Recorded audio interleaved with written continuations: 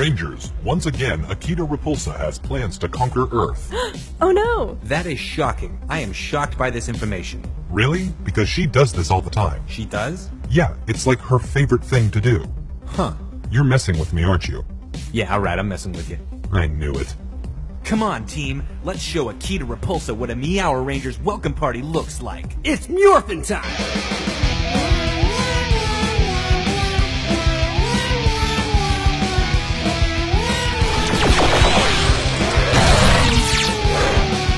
Looking good, everybody. Alright, cool. Well, listen, I'm gonna take a quick cat nap. Wait, what?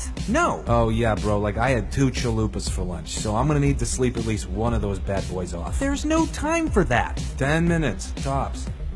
Let's just go. Good luck, and let the Meower protect you.